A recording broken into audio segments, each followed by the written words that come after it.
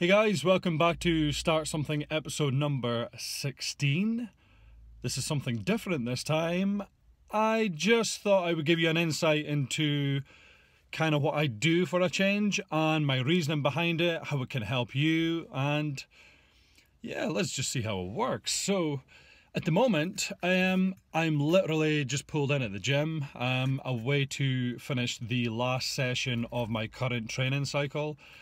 I'm going to test out my bench press progression. So um, I've been mainly focusing on my bench at the moment just because I've still got a lower back issue with a flared disc, um, which means I've been doing no squatting other than like goblet squats, body weight squats, anything other than heavy barbell squats. So it's kind of frustrating, but it's a needs must. You've got to look for the long term rather than the short term. So, you know, they're out. Um, I kept in deadlifts. Well, I, I, I took them out for a little while and then I took them back in, but I was doing heavy deadlifts, focusing on, you know, keeping in the pattern and just looking at lighter weights, higher reps.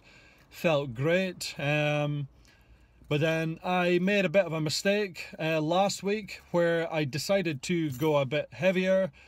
Um, the session went well, but afterwards, you know, my back kind of flared up again, tightened up again.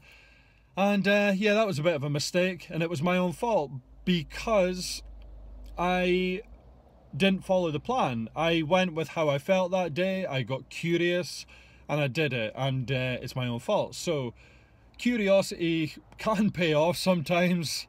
And in my case it didn't pay off. So deadlifts are out now and uh, squatting's out. So again i'm at the moment i'm really focusing on just movement work uh, building up some strength in other areas building up some you know uh, opening up the hips and shoulders a bit more possibly looking to to add a little bit of size with my current uh, diet setup and just really looking to progress on my bench press too. So that's me at the gym. Let's see how it goes.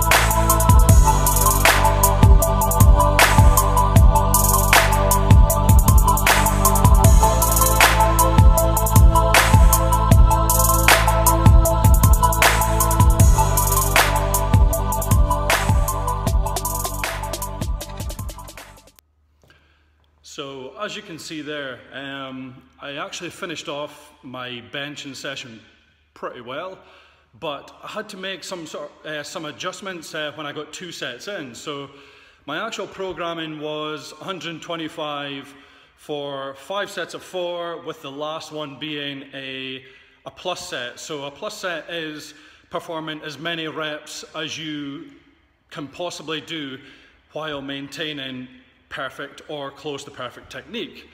Um, so I got two sets in at 125. I felt a little bit too fatigued. I felt like um, I was kind of forcing the last one out. So I just listened to my body. Today wasn't the day to do the 125, so I dropped the weights to 120. Uh, finished off really, really well. I felt instantly a lot stronger, a lot more energy. Um, I felt a lot more confident. And then I finished off the set there, as you can see, with a set of six. Even though I really had to fight for it, um, I still got it. It's a plus, it's a win, and it means I can move on to my next cycle next week, um, you know, with a lot of confidence, knowing that I've got something to build on. Um, I've actually got to, I actually had to cut my session short because uh, my son, he's actually visiting me from down in Manchester. I'm taking him to see the Highland Games today. He told me not to wear my kilt, but I am going to, and I'm going to embarrass the hell out of him. So, let's go to the Highland Games.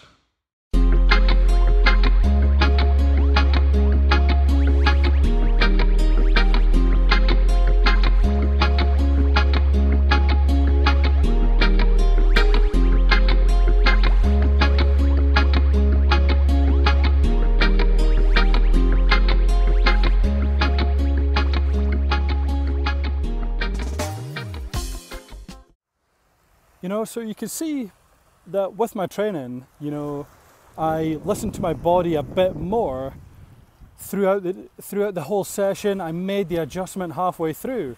But think of how many times that somebody actually doesn't do this, you know. They go into the gym, go on full beast mode, disregard it, they're, you know, maybe got, got a tight hamstring, they're fatigued a little bit and they refuse to go off the their training like program and instead they move backwards. They inhibit themselves. They their efforts are now have now gone back two or three weeks. So, uh, unfortunately for me, I've learned this lesson all too well, especially recently. So.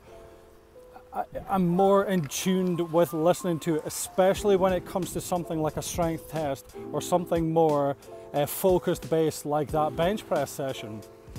And as you'll see on the Saturday, uh, when I took when I took my son to the Highland Games, I knew we were going to be having a movie night that night. Um, so I he wanted to get some pizzas and ice cream. So did I. So which meant I did like a, a, a mini fast, which is something I like to do. I created a, a nutritional strategy to preempt, you know, later on that evening and the rest of the day. So I did a, a fast until about one or two o'clock.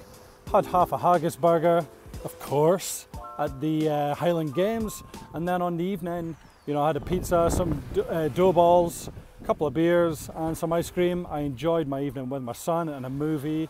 We watched Independence Day. He was scared, but what what matters is um, I still allowed for myself to enjoy myself to enjoy family time, to enjoy my weekend, to have a great training session, move forward in my training session. And, and I was just more mindful on developing a strategy. And on the Sunday, I went for, for a hike on Sunday, and then, then I had some barbecue. Tracked some steps using this bad boy, and uh, on Monday I felt great. So I didn't train as much as I wanted to, but I made adjustments so that I could live guilt free, I could still reach my goals, and that's what counts. Not, you know, eating out of Tupperware and uh, stressing whether people are going to uh, start commenting on your, your gym habits, your dietary habits, your lifestyle habits, placing too much barriers and limitations.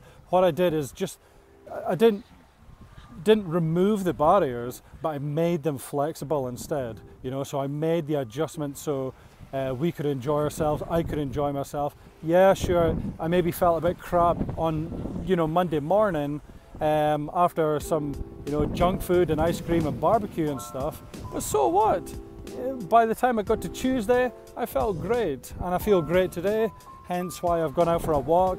I'm making a point of really trying to get 15,000 steps now, uh, which is really, really difficult if you've never tried it before, especially um, when you're used to sitting on your butt all day. So just take, just take into account these things.